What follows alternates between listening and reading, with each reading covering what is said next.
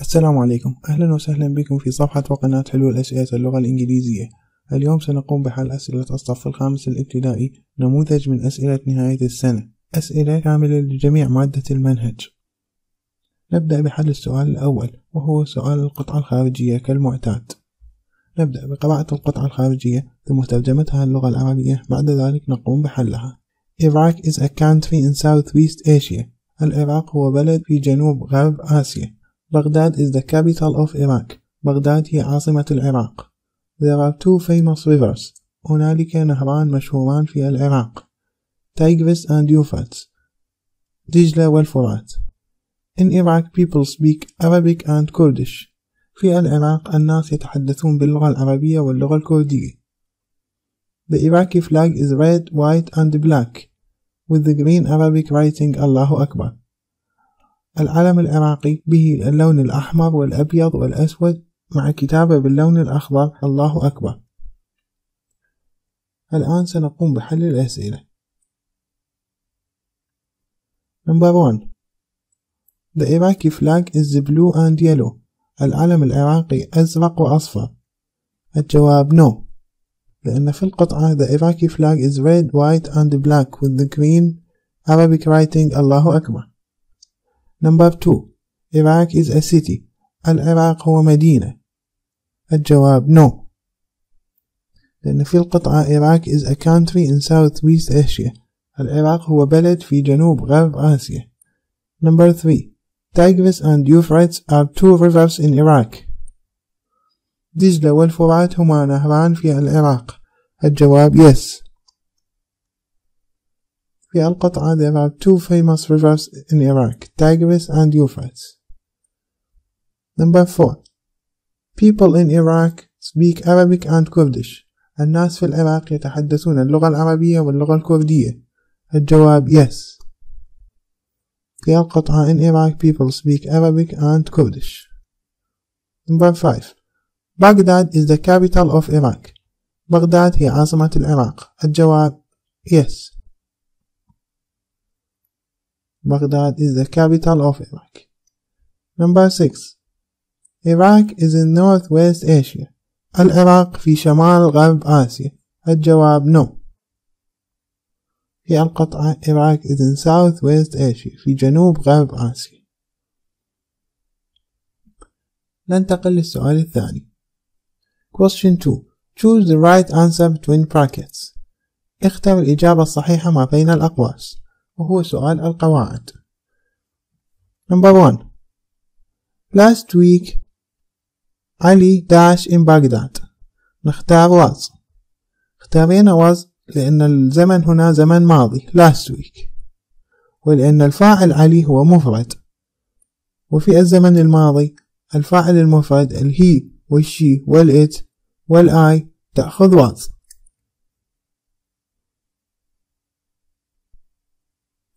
Number 2 There isn't dash bread. نختار any. اختارينا any لأن any تأتي مع الجملة المنفية. بما أنه there isn't إذن الجملة منفية وأني تأتي مع الجملة المنفية. أما some تأتي مع الجملة المثبتة. Number 3 I dash at 7 o'clock. هنا زمن مضارع بسيط. في زمن المضارع البسيط إذا كان الفاعل مفرد نضيف s للفعل. أما إذا كان الفاعل جمع أو الفاعل I أو you لا نضيف اس إذا نختار get up. I get up at 7 o'clock. أنا أستيقظ في الساعة السابعة. Number 4 How many books dash there? بما أن books هي جمع نختار are How many books are there? كم عدد الكتب هنالك؟ Number 5 كرم dash his breakfast at 7 o'clock. بما أن الفاعل كرم مفرد إذا نختار has. كما قلنا في زمن المضارع البسيط الهي والشي والإت تأخذ فعل معه اس كرم has his breakfast at 7 o'clock. كرم يتناول فطوره في الساعة السابعة. هنا has هي فعل رئيسي وليس فعل مساعد. يجب الطالب أن ينتبه إلى هذه النقطة. Number 6 I go to France dash plane. نختار by لأن by تأتي مع وسائط النقل. by car by plane by train أما on تأتي مع المشي فقط on foot.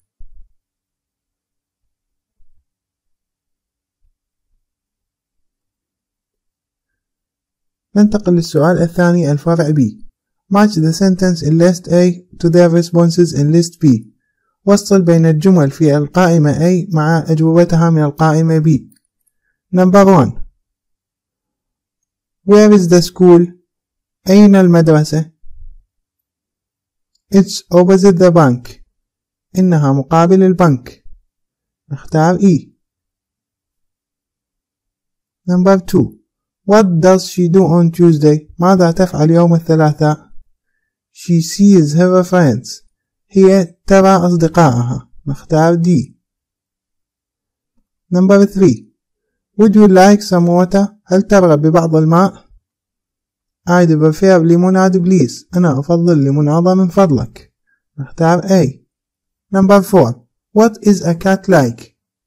ماذا تشبه القطة أو ما هي صفات القطة؟ It's playful. إنها مرحة أو لعوبة. نختار B. Number 5. What's your favorite sport? ما هي رياضتك المفضلة؟ My favorite sport is football. رياضتي المفضلة هي كرة القدم.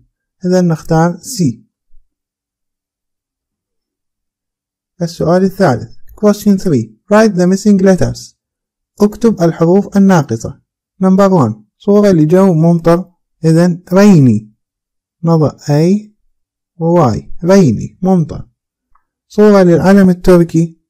نضع U and E. Turkey. صورة لسمكة fish. صورة للخيار cucumbers صورة لأيدي الملاكم boxing ملاكمة. Number 6 علم إنجلترا إنجلاند.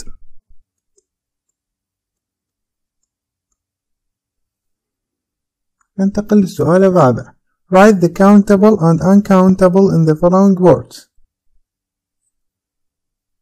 اكتب إذا كانت هذه الكلمات معدودة أو غير معدودة. نبدأ. بريد الخبز. الخبز غير معدود. بريد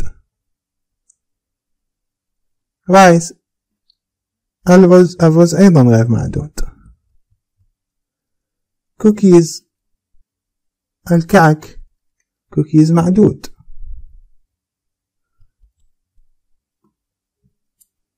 water الماء الماء غير معدود chicken الدجاج معدود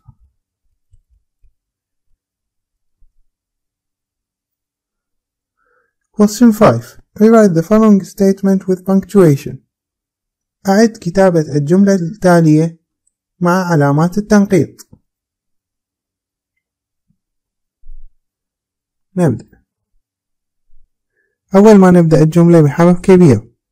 Is there any salad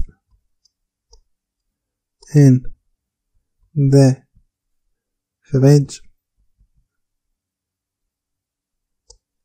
نضع علامة استفهام في نهاية السؤال. نبدأ بحرف كبير no بعد النو وبعد اليس نضع فارزة no there. isn't. نضع ال comma. any. salad نضع نقطة. تحسب الدرجة. إذ تبدأ بحرف كبير لأنها بداية جملة. وضع علامة الاستفهام. No في بداية الجملة. الثانية يجب أن تكون بحرف كبير. الفارزة بعد no. وال comma أيضا تحسب عليها درجة. والنقطة في نهاية الجملة. نصل هنا أعزائي إلى نهاية حل هذه الأسئلة. أتمنى أن تكونوا قد استفدتم منها. أسئلة كانت واضحة وشاملة لجميع مادة الكتاب. أي استفسار يرجى مراسلتنا أو التعليق على هذا الفيديو. كما لا تنسون الاشتراك في قناتنا حلول أسئلة اللغة الإنجليزية. بالضغط على زر سبسكرايب وتفعيل زر الجرس أيضا. كما يمكنكم نشر هذا الفيديو مع أصدقائكم لتعمل فائدة.